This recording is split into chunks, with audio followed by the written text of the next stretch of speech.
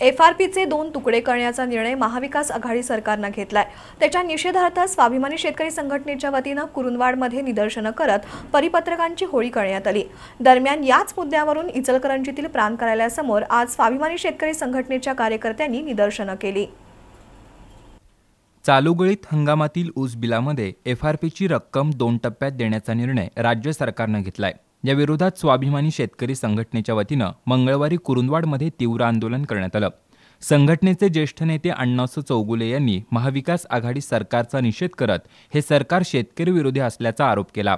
दरम्यान शासकीय परिपत्रकांची होळी करून राज्य सरकारविरोधात घोषणाबाजी करण्यात आली. या आंदोलनात विश्वास बालीघाटे बंडू उमडाळे बंडू पाटील रघुनाईक अभिजित पाटील पिंटू औरवाडे यांच्यासह कार्यकर्ते सहभागी झाले होते. दरम्यान इचलकरंजीतही प्रांत कार्यालयासमोर आज स्वाभिमानी शेतकरी संघटनेच्या कार्यकर्त्यांनी निदर्शनं केली. उसाची एफ आर पी दोन हप्त्यात देण्याचा राज्य शासनाचा निर्णय शेतकऱ्यांवर अन्याय करणार आहे त्यामुळे हा निर्णय ताबडतोब मागं घेण्याची मागणी स्वाभिमानी शेतकरी संघटनेनं केली आहे. यावेळी बसगोंडा बिरादार सतीश मगदूम हेमंत वणकुंद्रे बाळासो पाटील अभिषेक पाटील उपस्थित होते.